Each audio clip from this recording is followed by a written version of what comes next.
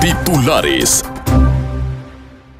En los últimos días en el país, varios sacerdotes han sido víctimas de la delincuencia. El arzobispo de Durango, José Antonio Fernández Hurtado, asegura que en Durango no se tiene ningún riesgo para ejercer este ejercicio de fe. Son hechos lamentables que ya el episcopado mexicano, a través del señor cardenal eh, Francisco Robles y del secretario, eh, se hizo un comunicado para decir el sentir de la iglesia. Será el próximo 23 de octubre en el marco del Día del Médico cuando estos profesionistas en Durango realicen una marcha para protestar por la reforma al sistema de salud. A nivel nacional se ha programado esta marcha. En Durango se organiza por parte del movimiento Yo Soy 17 y el movimiento médico 22 de junio. Así lo anunció Federico Martínez Rodríguez, expresidente del Colegio Médico de Durango. Nosotros tenemos programada a nivel nacional, ahorita estamos programando una marcha para el día 23 de octubre, el día del médico precisamente, a nivel nacional. Yo en Durango soy el representante de Soy 17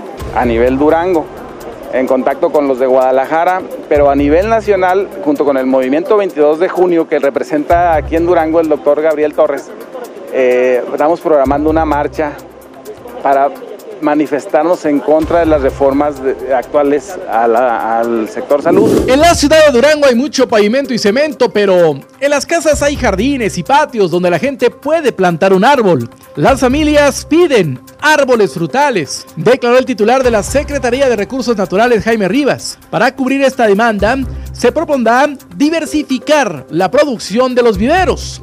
Aquí en la ciudad de Durango, por ejemplo, hay mucho, mucho pavimento, hay mucho cemento pero en las casas todos pueden tener un árbol frutal y queremos nosotros tener los viveros para darles a la gente de aquí de la ciudad un árbol frutal. Es preocupante que los colaboradores nombrados hasta el día de hoy por el gobernador del estado José Ispuro Torres en su gran mayoría sean hombres, así lo expresó María de los Ángeles Rodríguez Guzmán, secretaria de comunicación del Comité Ejecutivo Estatal del PRD. A las mujeres militantes del Partido de la Revolución Democrática nos preocupa que los, que los colaboradores nombrados hasta el día de hoy por nuestro gobernador José Rosas Aispuro Torres, en su gran mayoría son hombres. Cierto, ha designado algunas mujeres eh, muy talentosas, pero a la fecha ni siquiera somos el 15% de estas.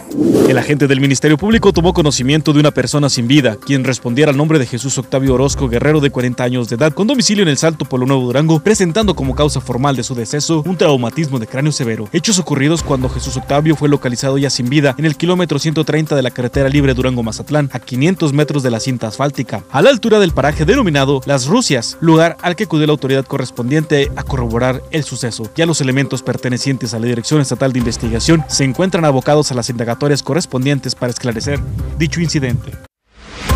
Titulares